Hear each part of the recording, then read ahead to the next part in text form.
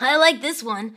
Brandon Santiago asks, To Shadow, if you're the ultimate life form, how come you need your rocket shoes to run fast while Sonic doesn't? Hmm? Ooh, he's going right in with that one, isn't he? Yeah, Shadow. Why do you need rocket shoes to run fast? What a presumptuous question from this Brandon person. I'm not just fast because of my rocket shoes, Brandon. I'm the ultimate life form, and you would be wise to respect my power.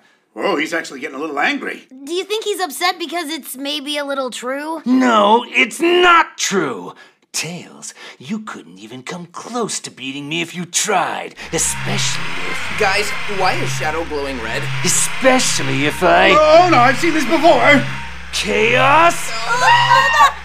Blast!